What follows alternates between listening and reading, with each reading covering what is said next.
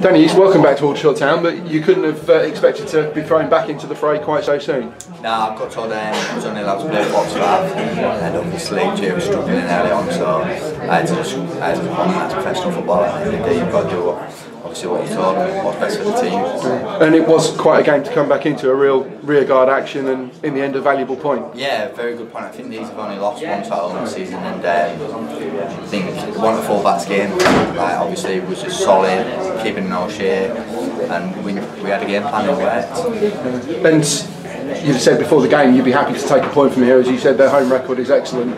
Yeah, And exactly, yeah. as as impressive as Tuesday's win against Dover was, this was equally impressive in completely different ways. Yeah, of course, of course it was. I mean, won a pretty game, he was never going to be on the pitch with the wind. It was very lively. It was uh, probably in that, so points good.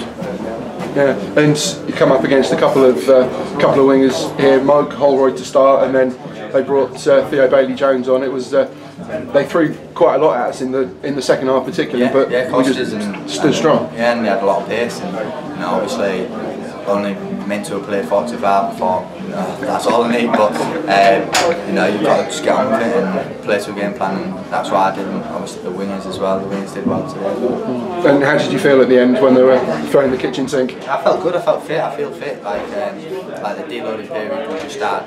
Um, that was obviously to recondition my body. I've had, I've had a long time. Um, so I, I felt good to be honest. I wasn't obviously bombing on and that. That was obviously part of the game plan. Um, and you know I thought it was solid today. And talk us through a little bit about the injury. You say it's a, bit, a little bit of tendonitis. Yeah, it's a little, a little bit, just because obviously I've been out for a while. Um, you know, it's, it's complicated, but at the same time, if I get told that I've got to take two weeks out, I'm going to do it and look after my body, um, and you know, get right for the future. Yeah, it is about the bigger picture. Having been out for so long, you don't want to take any stupid risks and delay your progress any further. Yeah, exactly, like coming on in 10 minutes today. Well, yeah, yeah. I don't, you know, I don't, I don't mind. Um, I enjoyed it. Yeah, and with uh, the get that the game plan, it, as you say, it wasn't a day for bombing on, which is a natural part of your game. That Yeah. defensive discipline Yeah, was important. yeah, exactly. And disciplined, you know, the most exciting, and obviously for me and, and who were full back, you want, want an exciting game, but at the end of the day, we've, we've come away with a point, and you know, looks like we've turned it around. Yeah, and five games unbeaten now. When you came in, the team were the team were really struggling for confidence and form. But have you, in your time, have in your time, have you seen the, that kind of the squad develop and grow? Yeah, definitely confidence as well. The confidence is up in the changing room, but obviously, obviously, no one likes to see a manager get sacked. But since Barca took over, you know, he's done very well, and, um, and obviously the results are showing. And as a fellow defender, yeah, clearly he he's got hundreds of games of experience. Is- But I think he's played 11 years in the champ, hasn't he? Without, um, without being a good player and obviously a leader as well, and he's a leader in the changing room, on stage, you know, he's a top man. Yeah, and what, what has he brought in your in your opinion? What has he brought to the team? How has he changed things around? I think he's just, um, you know, concentrated on the training pitch really. It's, um, it's you know, it's changed a lot on the training pitch.